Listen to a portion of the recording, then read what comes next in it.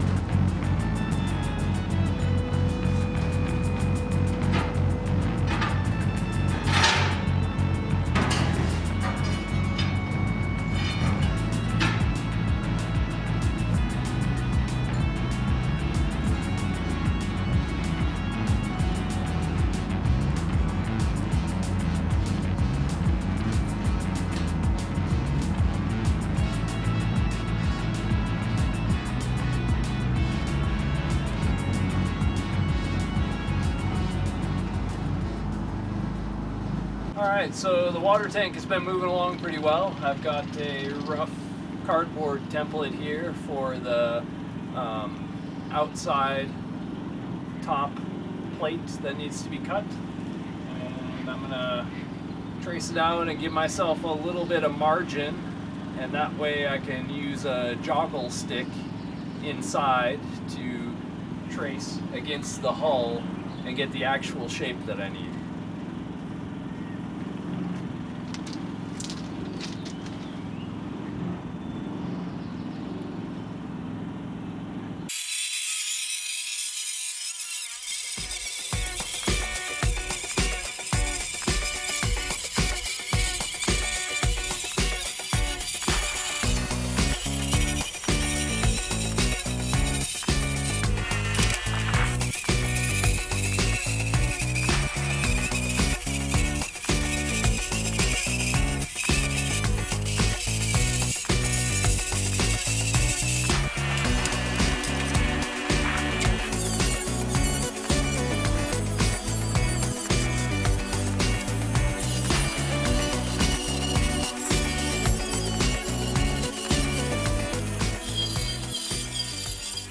Okay, so the plate is in here, but there's maybe a two inch gap on this side.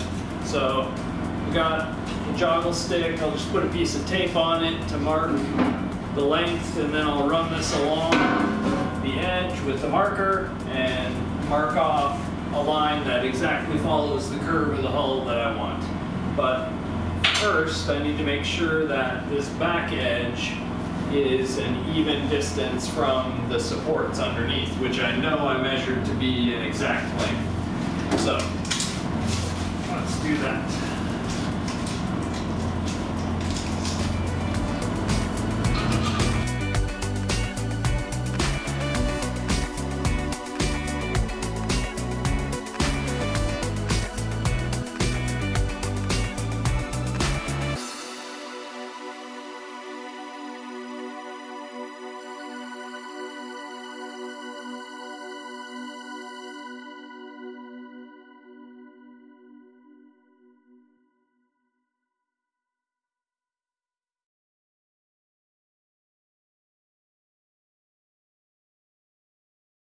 Alright, so the floor is in place and it's leveled this way. I ended up doing a, a, relief cut all along this inside edge and I bent that edge down in to make a better contact with the hull.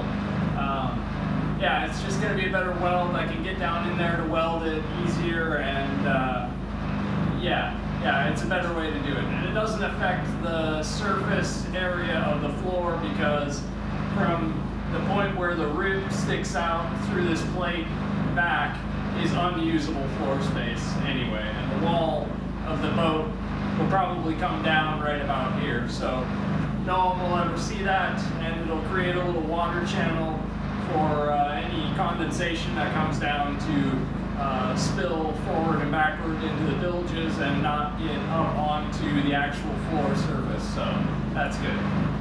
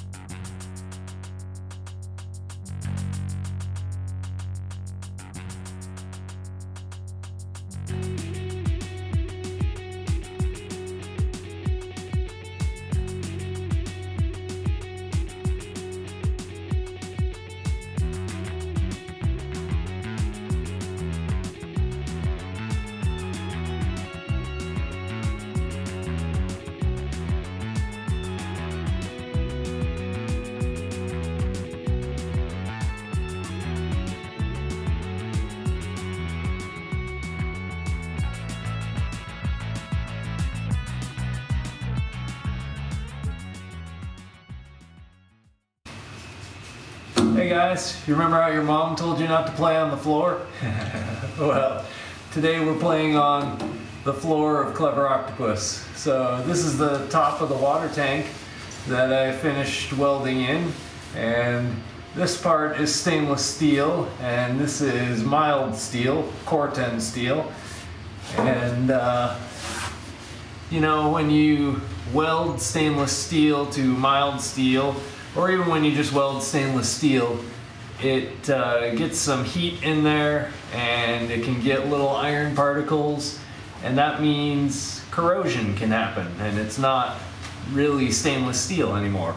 But to fix that, I've got this stuff, Weld Wizard 9310. Now really this is just citric acid. Um, we're gonna put it on here, it's kind of a gel and let it sit for about 20 minutes and then wash it off.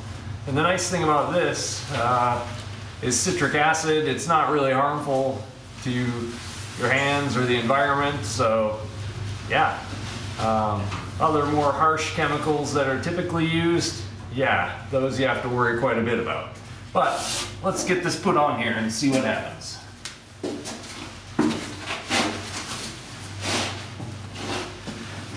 give it a shake first.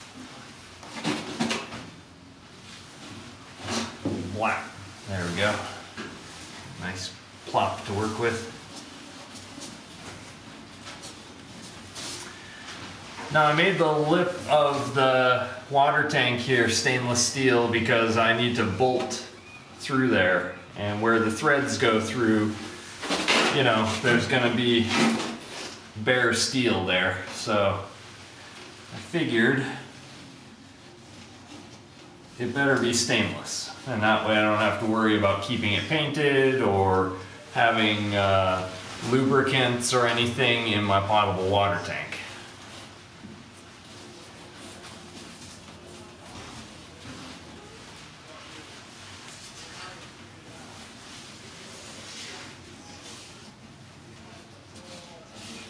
Ugh, this stuff kind of smells like rotten fruit.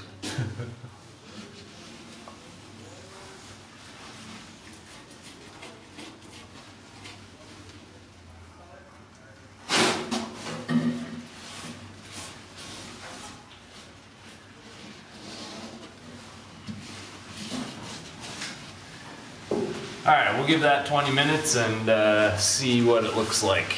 Um, let me give you a good picture of what it looks like before though, huh?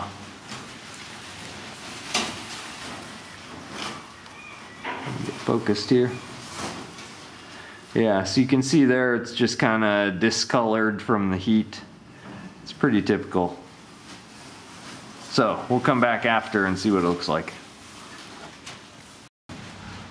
Well, we uh, are having a thunderstorm right now, so uh, the lighting is not as good as I wanted it to be, but uh, got my bucket of water here. All we have to do is wipe this off.